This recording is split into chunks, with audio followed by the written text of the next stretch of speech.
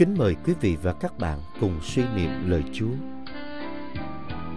Hôm nay, ngày 20 tháng 8 năm 2024, thứ ba, tuần thứ 20 thường niên, Thánh Bernardo, Viện Phụ, Tiến sĩ Hội Thánh, lễ nhớ. Chích tin mừng Đức Giêsu Kitô theo Thánh Matthew.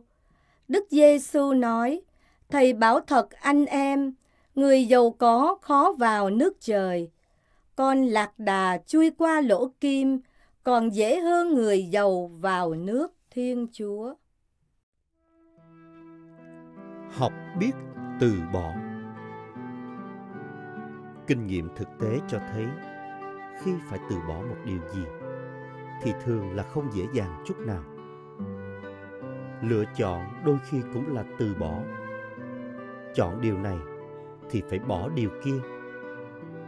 Sẽ càng khó khăn hơn khi phải từ bỏ những gì là thiết thân nhất đối với mình như tiền bạc tài sản. Người thanh niên trong tin mừng hôm nay đã chu toàn lề luật nhưng sự giàu có đã làm cho anh ta không thể đi theo Đức Giêsu. Trái lại, các môn đệ đã chấp nhận từ bỏ mọi sự để theo Đức Giêsu nên người đã hứa ban cho các ông sự sống đời đời làm gia nghiệp. Sống giữa đời, mỗi Kitô hữu được mời gọi học biết từ bỏ mỗi ngày. Vì nếu quá ham thích của cải vật chất, con người sẽ quên mất hạnh phúc đích thực của đời mình là gì.